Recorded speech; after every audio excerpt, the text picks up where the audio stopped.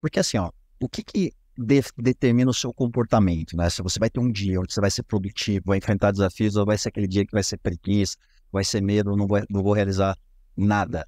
É o estado que você se encontra, o estado emocional. Então, se eu estou num estado positivo, de alegria e felicidade, cara, eu fico ativo, eu converso com as pessoas, eu enfrento desafios, eu fico focado. Agora, se eu estou num estado de preguiça, um estado depressivo, é, cara, eu não vou querer agir, não vou querer sair da cama, não vou querer me movimentar muito. Então, o, controlar o seu estado é o que determina o seu comportamento. E uma forma de fazer isso, um dos exercícios que eu passo, é você acordar pela manhã, dar uma espreguiçada assim e dar um sorrisão. Por quê?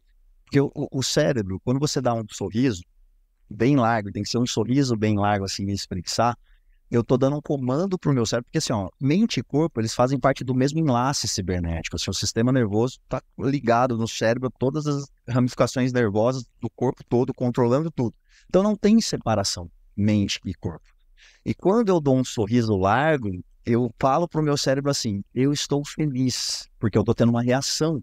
Né? Eu tô mudando a minha postura, mudando a minha musculatura, e aí pro cérebro, pô, se eu tô dando um sorrisão, quer dizer que eu tô feliz. Se eu tô feliz, vai produzir o quê? Serotonina.